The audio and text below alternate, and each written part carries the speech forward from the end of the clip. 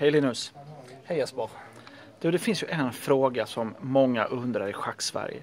Vad gör funktionärerna på en schackturnering i väntan på att det ska hända någonting eh, under ronden?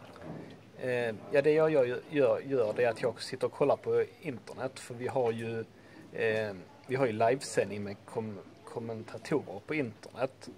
Eh, så har vi ju Stellan Brinell och Ulf Andersson som kommenterar eh, på Youtube då. Och det är det jag sitter och följer nu här på min iPad. Vi kollar. Härligt.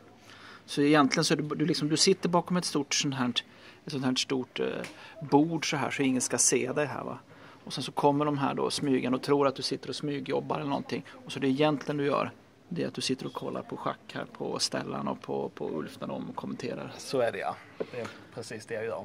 Jag måste ju lära mig lite schack också när jag är tävlingsledare. Så. Det gäller att passa på. Precis.